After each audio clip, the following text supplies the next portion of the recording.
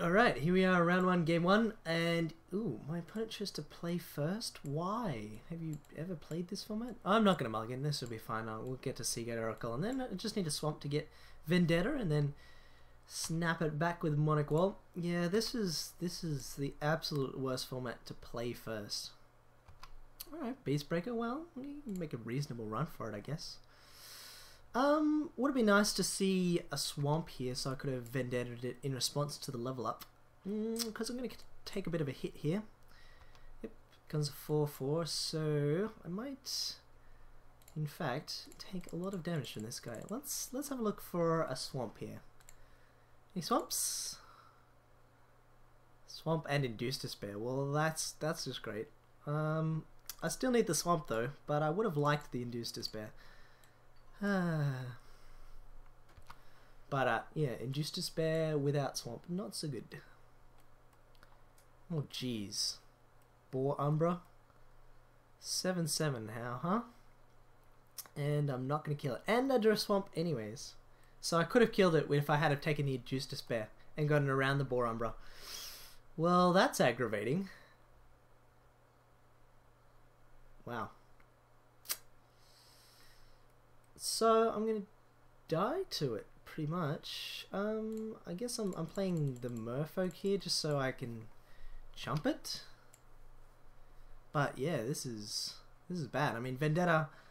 Uh, I'll take seven and then it'll just clear off the Boar Umbra and then I would die to it. So yeah, awesome.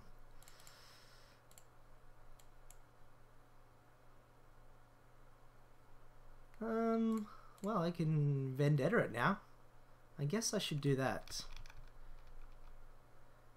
Uh, and then I can drop mnemonic wall. Oh, jeez. Lose life equals to its toughness. Well, I can kill Stomper Cub. Uh, and only take three. Alright, alright. I see why my opponent chose to play first, and it was, in fact, correct with the hand he had. Jeez. Well, let's go with the Wall. Man, I can't believe that. I had to take the swamp, but uh, the Induced Despair would have fixed all my problems. Oh, man.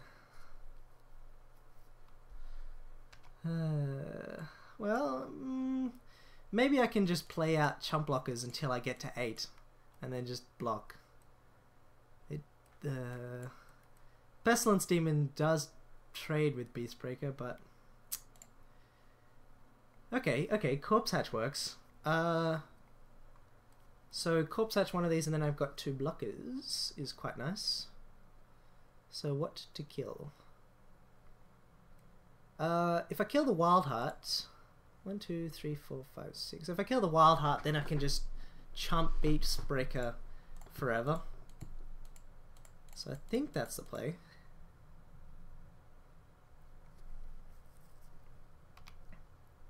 Awesome. I have the jumps. Uh, I get Spawning Breath. Well, don't get a token. Ah, what? what? What? Okay, it turns out my opponent's deck is insane as well. Ah, what do you know? What do you know? Well, I guess Guard Gamazoa would be nice, perhaps. Uh, guess we'll take a Null Champion. That's not going to do me so good. No, no, nothing else I really want to do. Let's go with this.